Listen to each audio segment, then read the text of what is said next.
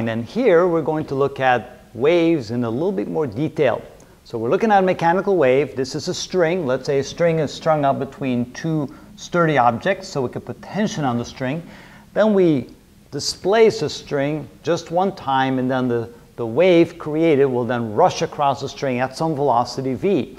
The question is, what is that velocity v? And that will, of course, depend upon the tension in the string and the mass per unit length. So we use the letter mu for that, but mu means the mass per unit length of the string, how heavy or how massive the string for each length, for each meter, for example. All right, notice that here we draw a snapshot picture of the wave. There's just one small wave moving across. Let's say at some point in time, it's at the edge of the wave, it's at this position right there, and then in a small amount of time dt, it moves from this position to a new position, and it covers the distance dx right there in amount of time dt. Notice that the displacement dx can simply be expressed as the velocity times dt. And then also notice that if we take this small little corner right here, the very edge of the wave, and we increase it in size right here so we can look at it a little bit more detail, you can see then as the wave is moving to the right, you can see that then the string will start moving upward. Uh, and the velocity of the string moving upward will have a velocity in the y direction. And you can then say that the displacement dy can be said is equal to the velocity in the y direction times dt in just the exact same way. Now, if we want to get the ratio of dy over dx, what is that equal to? Well, because of this definition here, we can say that dy dx, by definition, is the velocity in the y direction times dt divided by the velocity in the x direction of the wave times dt, and the dt's cancel out. That's simply vy divided by v. Now you may say, well, why did I do that? Well, we also can look at this in a geometric way. This is a triangle, and so we can say that the tangent of the angle theta, this angle right here, is equal to the ratio of the opposite side over the adjacent side. This is equal to dy over dx. And since I defined dy dx over here as this ratio, and again, subsequently that ratio, we could say that this is equal to vy over v. All right, so that means I can write that the velocity in the y direction be expressed in terms of velocity in the x direction, the velocity of the wave, times the tangent of theta. Okay, why is that important? Well, you'll see in just a moment. The next thing we're going to do is we're going to think of this as uh, an impulse. This wave, this piece of the wave right here, the small section dx, will feel an upward force because there's tension on the string. So since the, the tension is acting in this direction, and then the wave is being displaced, it will feel a force in the upward direction. So we can say that the force in the y direction is equal to the tension times the sine of theta. Notice, of course, that the tension will be going along the string in this direction. So the tension will be like this, tension, this is angle theta. So the tension in this direction is the sine component of the tension. So this will be tension times the sine of theta, which is therefore the force in the y direction. Now, the impulse, impulse can be defined as force times time. And of course, if we're talking about a very small amount of time, we have to write as a very small dt. So this small little section of the string, in the amount of time dt, feels a force in the upward direction. So the impulse can be written as, this would be force in the y direction, as the tension times the sine of theta times dt. We can also say that the impulse is a change in momentum. So the impulse is a change in momentum. And momentum, of course, is mass times velocity. So this is equal to the change in the mass times velocity.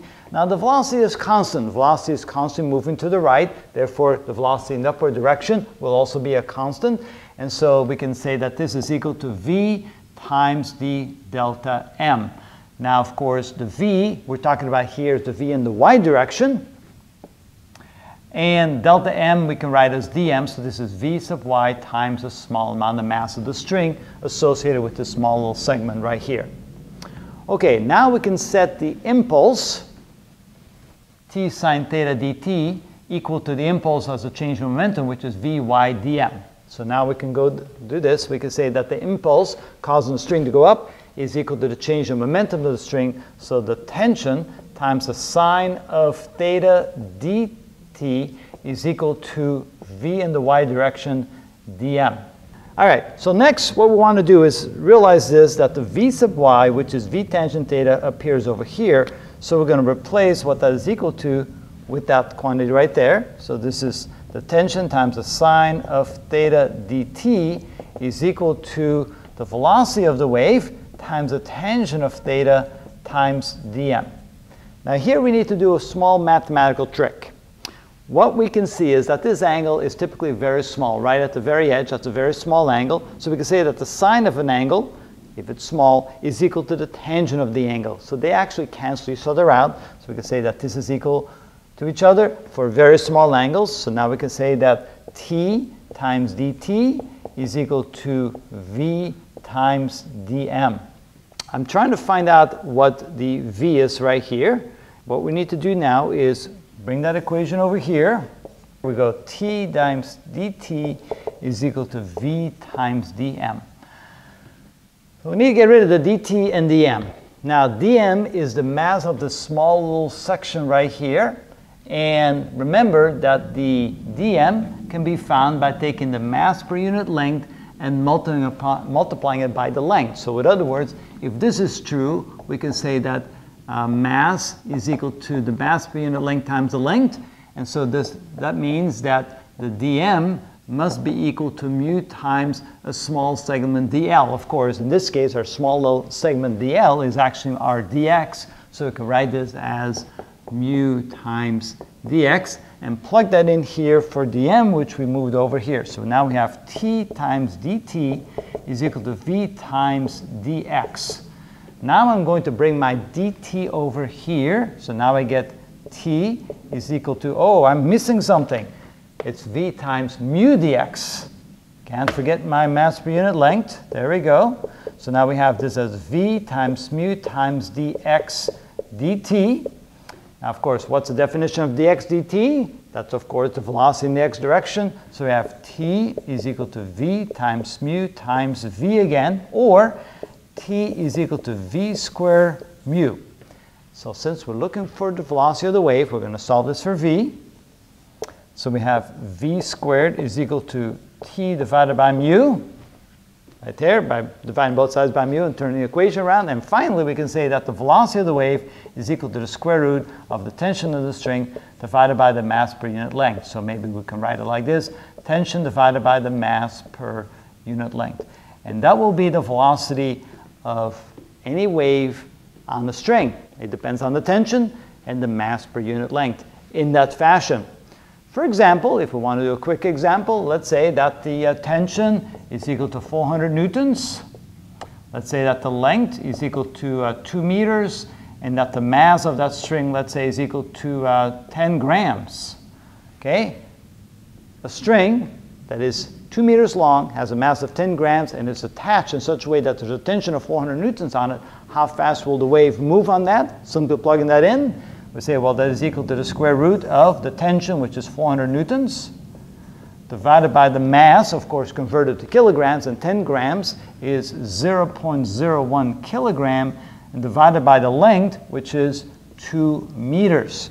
And so that's how we can go ahead and find the velocity of that, that wave. So we have 400 divided by 0.01 and multiply times 2 because we divide by 2 in the denominator, that's like multiplying by 2 in the numerator. Then we take the square root of that, and it looks like it's 283 meters per second.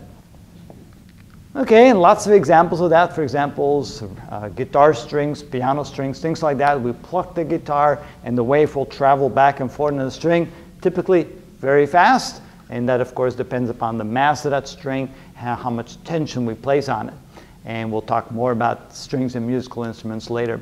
But again, a quick review here. If you want to find out how fast waves move on a string, we take a quick snapshot at the very edge of the string. We notice that a very small piece of it starts rising up at velocity v in the y direction as the string moves in the uh, x direction. So we can relate the angle to the displacement in the y divided by the displacement in the x, which is the ratio of v in the y divided by v in the x.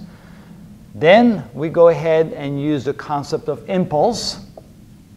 impulse is force times time, or impulse is change in momentum. If we set those two equal to each other, we get this equation right here, and then realizing from this relationship, the geometric relationship between the angle, the tangent of the angle, and the two velocities in the y and the x direction, we can replace the velocity in the y direction by that, and then we realize that the sine and the tangent cancel out. We then simplify this equation. We still need to get a dm, which we can find right here. A dm is simply the mass per unit length times a small segment of length, which we call dx.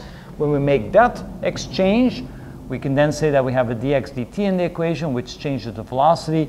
Simplifying that to v right here, taking the square root, and that's how we find the velocity of the tension on a string. Now, for most of us, we don't really care how we got to that result. It's kind of nice to see how it's done, and some of us, I guess, we are required to figure that out.